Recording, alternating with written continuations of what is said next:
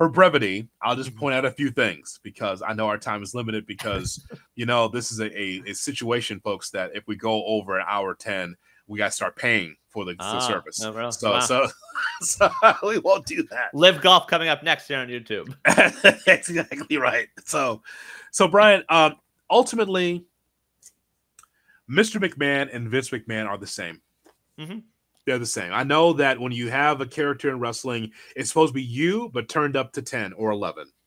And unfortunately, for many that's been around Vince McMahon on the negative side, that Vince McMahon and Vin- and uh, Mr. McMahon are the same.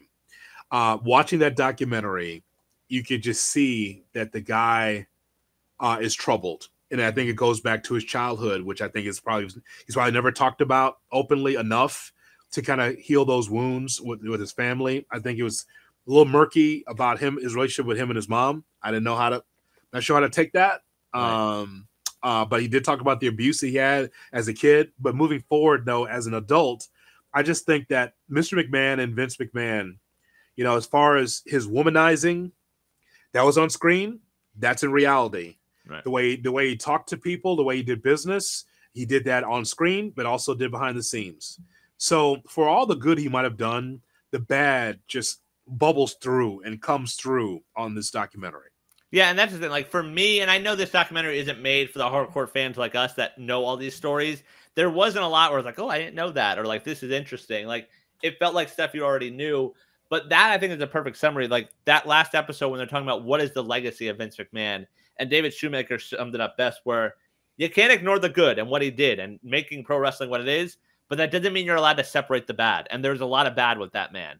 And you know, the wrestlers, they don't seem to agree with that. They're like, oh no, all good. That's my guy. It's like, yeah, but there's a lot of really bad stuff that you're not allowed to ignore because lives are impacted by it. So I think that was the perfect way to summarize it.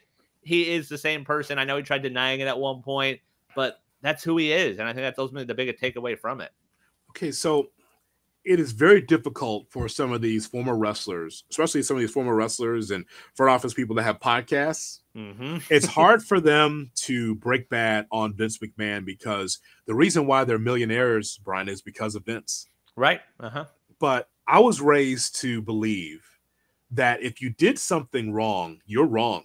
Right. No matter the good that you've done, no matter the philanthropy and everything else that you've done, man, if you are involved with the Janelle Grant situation, or if you've paid off people like Rita Chatterton, uh, and you've been accused of rape multiple times, when you have knowingly know that there was a, a ring boy scandal with Mel Phillips and Terry Garvin and Pat Patterson, and you brought Pat Patterson back into the fold, knowing when Tony and I believe Tony Atlas, and Tony Atlas says, "Yeah, you know what? Um, Pat Patterson grabbed my pecker, Right.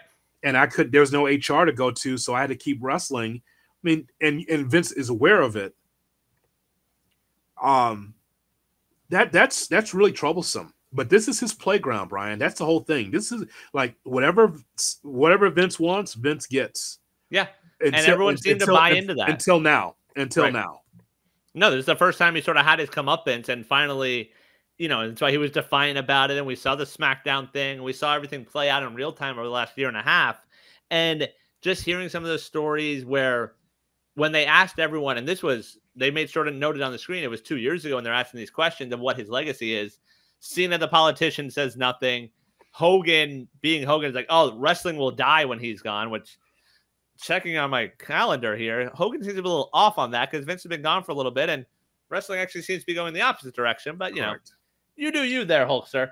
And the way everyone like Taker getting choked up and seeing the way everyone still talks about him, like they're just not able to separate it, which is baffling.